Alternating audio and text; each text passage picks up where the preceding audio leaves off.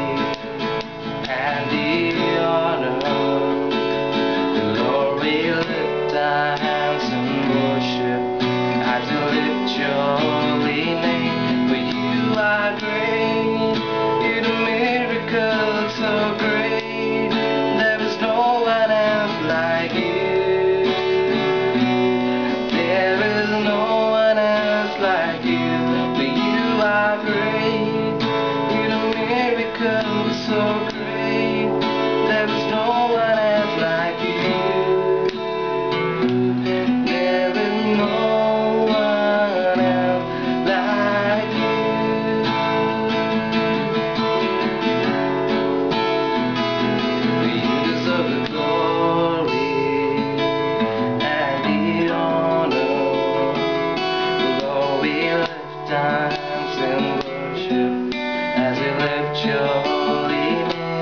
You deserve the glory and the honor.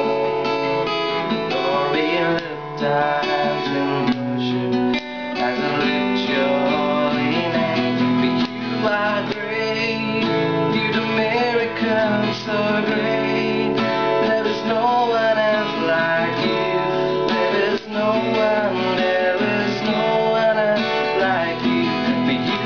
I've